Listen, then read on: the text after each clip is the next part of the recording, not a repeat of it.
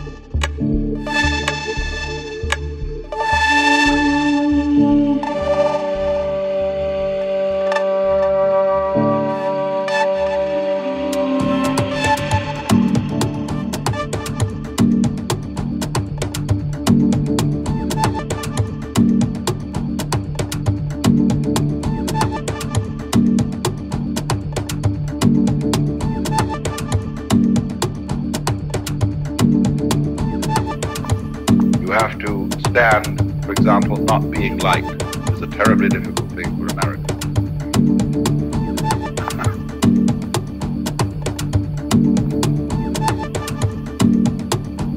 But what I've said here, I think, about space, about rebirth and so on, you will notice one thing about it all. It doesn't, nothing that I've said or understanding doesn't require any kind of what I would call special knowledge. It's all out in front of you. It doesn't require, actually, it doesn't require meditation exercises or LSD or, or anything. Uh, it's, it's all out in the open. Uh, and the only really essential meditation uh, exercise is stopping thinking.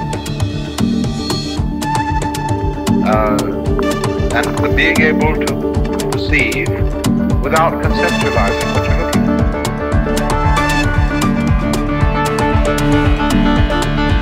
And that's the interior silence.